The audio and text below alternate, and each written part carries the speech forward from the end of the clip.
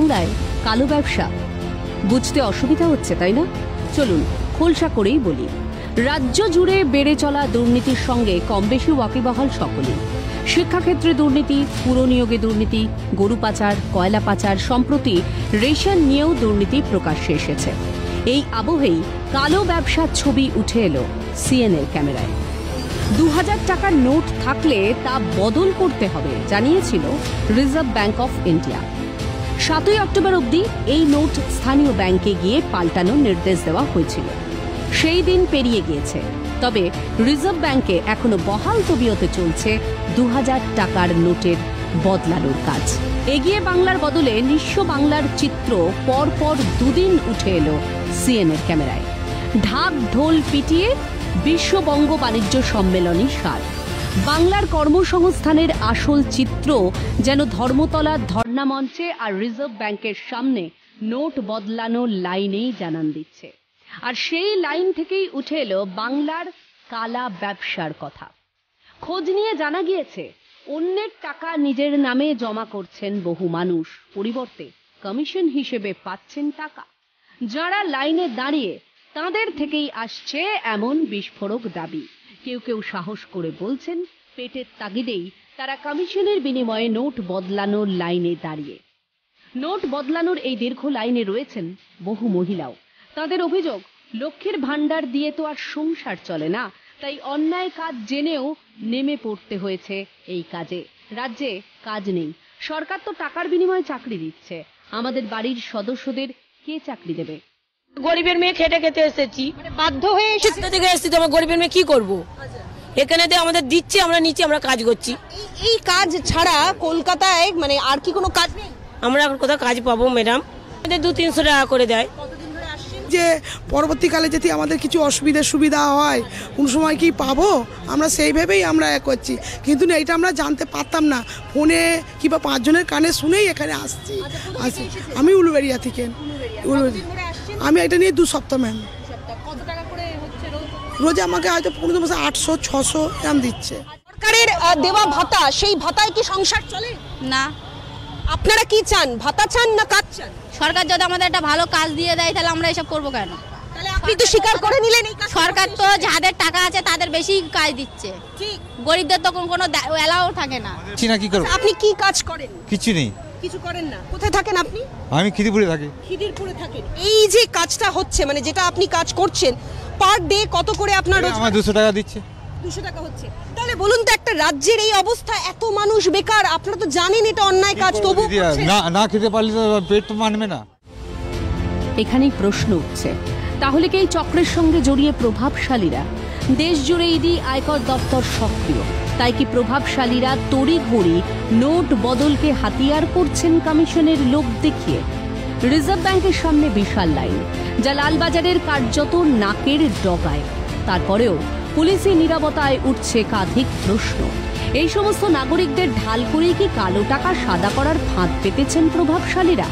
এটাই কি বাংলার ভবিতব্য? প্রশ্নগুলো থেকেই যাচ্ছে। ক্যামেরা দীপ্ত চক্রবর্তীর সঙ্গে অভিরূপা সাহার রিপোর্ট। ক্যালকাটা নিউজ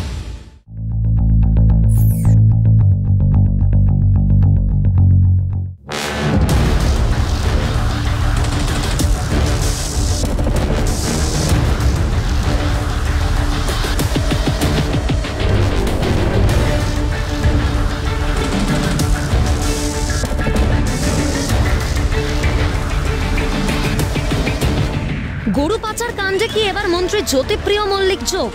অনুব্রত মডেলে হেঁটে এবার কি তাকেও দিল্লি উড়িয়ে নিয়ে যাবে ইডি? এই জোড়া প্রশ্নে তপ্ত বঙ্গের হিমেল বাতাস।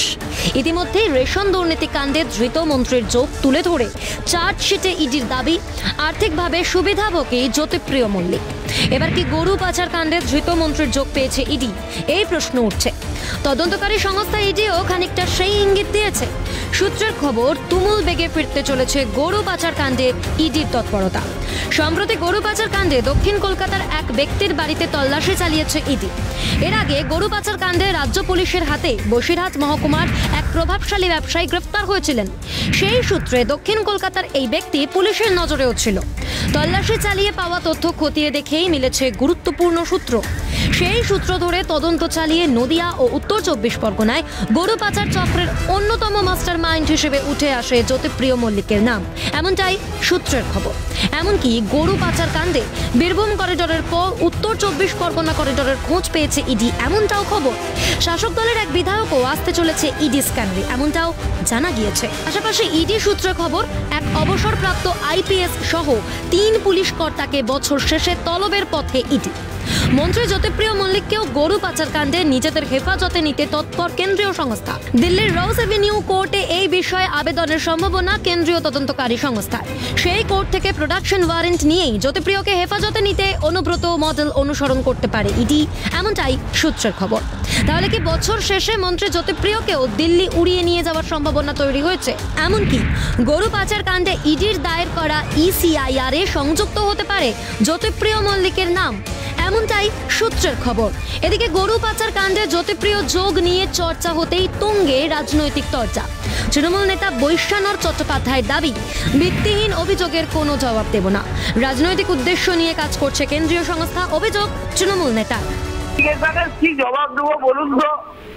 যে অ্যালিগেশন বেসলেস অ্যালিগেশন পলিটিক্যাল রাজনৈতিক প্রতিহিংসা অ্যালিগেশন এটাই বলব যে এরা দেশটা যত এগিয়ে আসবে তত নানান ধরনের কথা বাজারে রটানো হচ্ছে। একেবারে এই এজেন্সি গুলো তো পলিটিক্যাল মোটিভেটেড মোটিভেশন নিয়ে কাজ করে। আপনি বলুন না সারদা মামলা দশ বছর হয়ে গেছে ফাইনাল চাকরি দিতে পেরেছে? নানান ধরনের চিটফান্ডের সব কথা বলল একটা কোনো জায়গায় কাউকে একজন কেউ কিছু করতে পেরেছে? কংগ্রেসের মুখপাত্র সৌম্য আইচের অভিযোগ, এই দুর্নীতি স্টেট স্পন্সর্ড তৃণমূলের আমলে কাটমানি, রেশন দুর্নীতির খেলা চলবেই। আসল মাথাকে কবে ধরা হবে, প্রশ্ন তোলেন কংগ্রেস মুখপাত্র। স্টেট স্পন্সর তো স্টেট স্পন্সর যদি হয়, তাহলে সেক্ষেত্রে তো এই কুশীলকরা থাকবেই সব রত্নরা থাকবেই। তৃণমূল কংগ্রেসের আমলে মন্ত্রী শান্তিরা গরু পাচার করবে না, কয়লা পাচার করবে না, রেশন দুর্নীতি করবে না, কাটমানি দেবে না, এটা তো হয় না। তো এই জিনিসটা করেছে। এটা তো আমরা বারবার বলছিলাম এই হ্যাং ম্যান চ্যাং এদেরকে নাম আসছে ঠিকই কিন্তু আসল মাথা তো কালীঘাটার ক্যারার স্টেটে। তো তাদেরকে কবে জিজ্ঞাসাবাদ করা হবে সে বিজেপি সাংসদ দিলীপ ঘোষের দাবি সব ধরনের অপরাধের সঙ্গে শাসক দলের নেতারা যুক্ত। এদের বাঁচার রাস্তা নেই মত দিলীপ ঘোষের। তো এক জায়গা থেকে এত কোটি টাকা কাটানো সম্ভব নয় এবং তিনি আগেই ওনার নামে এসেছে যেহেতু বর্ডারে থাকেন ওনার এলাকা দিয়ে গরু যায় ওনার নাম আগে এসেছে। সন্দেহ ছিল, তথ্য এসেছে একাধিকবার জিজ্ঞাসাবাদে। সবাই যত রকম অপরাধ আছে পশ্চিমবাংলার যারা তাদের মাথা, সবাই সব জায়গায় যুক্ত, সব জায়গায় টাকা এদের কাছে। যারা বিশেষ করে ওদের সংগঠনের সঙ্গে যুক্ত, জেলা প্রেসিডেন্ট নিউ জেলা প্রেসিডেন্ট কৃষ্ণবাবু জেলা প্রেসিডেন্ট ওনার এলাকা দিয়ে আসতো এলাকা দিয়ে বাংলাদেশে যেত এটা সবাই জানে। তথ্য প্রমাণের অপেক্ষা ছিল, সেটা এসে গেছে। কিন্তু সমস্ত দোষে এরা দুষ্ট। এদের বাঁচার কোনো রাস্তা নেই। সত্যজিৎ মুখোপাধ্যায়ের রিপোর্ট। ক্যালকাটা নিউজ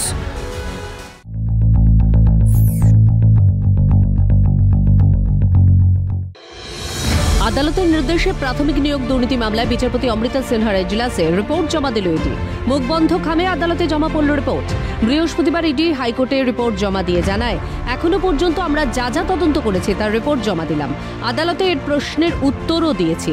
তবে হাইকোর্টে অন্য বেঞ্চের নির্দেশ আছে, তদন্ত রিপোর্ট প্রকাশ্যে আনা যাবে না, তাই ওপেন কোর্টে তদন্ত সম্পর্কে বিস্তারিত বলা যাবে না। এদিন ইডির রিপোর্ট জমা দেওয়ার পর সেই রিপোর্ট খতিয়ে দেখবেন বিচারপতি। আগামী বিশে ডিসেম্বর মামলার পরবর্তী শুনানি বলে জানায় আদালত। নিয়োগ দুর্নীতি নিয়ে মামলার আগের শুনানিতে অভিষেক বন্দ্যোপাধ্যায় ইডিকে যে নথি ও তথ্য জমা দিয়েছিলেন, তা ইডি আদালতে পেশ করে। এবং সেই নথি দেখার পর বিচারপতি অমৃতা সিনহা লিপস অ্যান্ড বাউন্সের গতিবিধি নিয়ে প্রশ্ন তুলেছিলেন। বিচারপতি জানতে চান, এত ডকুমেন্ট এলো কীভাবে? কিছু না থাকলে এত ডকুমেন্ট আসে কি? সেগুলি খতিয়ে দেখেছেন? কোথা থেকে এলো এত টাকার উৎস? কি সেটা দেখেছেন? সব সম্পত্তি দু হাজার পরে কীভাবে? এত অল্প সময় কীভাবে হলো?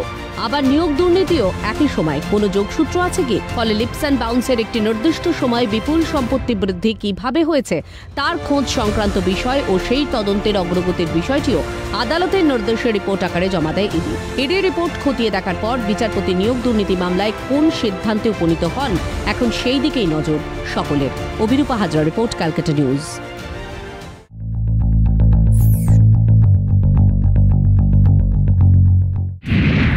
BJP বিধায়ক শঙ্কর ঘোষকে গ্রেপ্তার করতে পারবে না পুলিশ। বিধানসভায় জাতীয় সংগীত অবমাননার অভিযোগের বিরোধিতা করে দ্বিতীয় মামলা হয় কলকাতা হাইকোর্টে। শঙ্কর ঘোষের করা সেই মামলার শুনানিতে বৃহস্পতিবার তদন্তে অন্তর্বর্তী স্থগিতাদেশ দিল কলকাতা হাইকোর্ট। সতেরোই জানুয়ারি পর্যন্ত আবেদনকারী শঙ্কর ঘোষকে গ্রেপ্তার করতে পারবে না পুলিশ, নির্দেশ বিচারপতি জয় সেনগুপ্তের আবেদনকারী আইনজীবী রাজদীপ মজুমদার আদালতের দৃষ্টি আকর্ষণ করে জানান বিধানসভায় সংগীত অবমাননার অভিযোগ হয়েছে। ওই দিন তিনটি ঘটনা ঘটেছে। এই মামলা দ্বিতীয় অভিযোগ নিয়ে।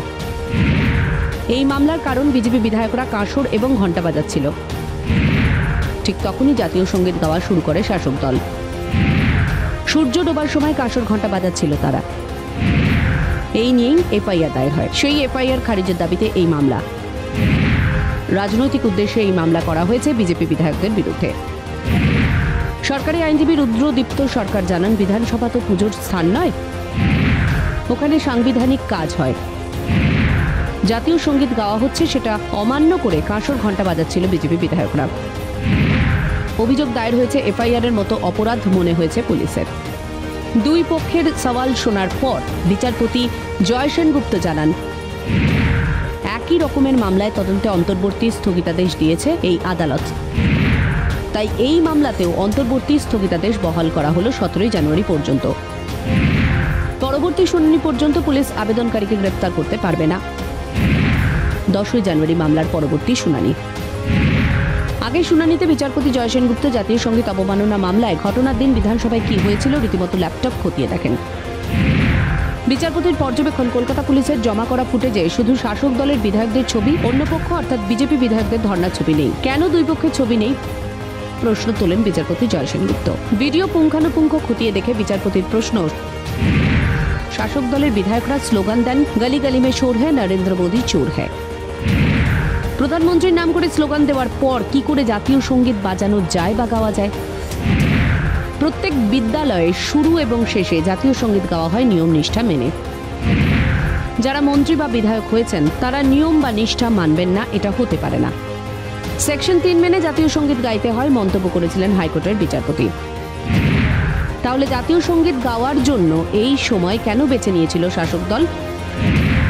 আর কোন ভিত্তিতে কলকাতা পুলিশ বিজেপি বিধায়কদের নোটিশ পাঠিয়েছে? জোড়া প্রশ্নের জবাব তলব করেছিল high court.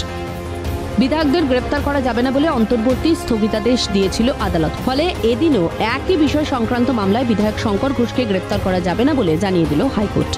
Abhirupa Hazra report, Calcutta news.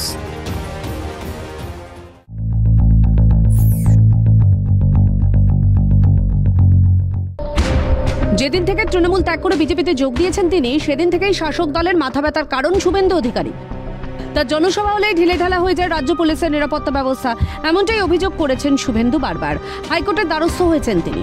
বৃহস্পতিবার এই বিষয়ে রাজ্যের কাছে রিপোর্ট তলব করেন বিচারপতি জয় সেনগুপ্ত তিন সপ্তাহের মধ্যে এই রিপোর্ট রাজ্যকে জমা দিতে হবে হাইকোর্টের পাশাপাশি এদিন সিআরপিএফ কেও রিপোর্ট জমা দেওয়ার নির্দেশ দিয়েছে আদালত। এদিন আদালতে শুভেন্দু অধিকারের আইনজীবী জানান, বিরোধী দলনেতা হিসেবে সফরকালে রাজ্যের নিরাপত্তা দেওয়ার কথা শুভেন্দুকে, কিন্তু তা না করে রাজ্য বিরোধী দলনেতার গাড়িতে প্রতিদিন কেস দিচ্ছে।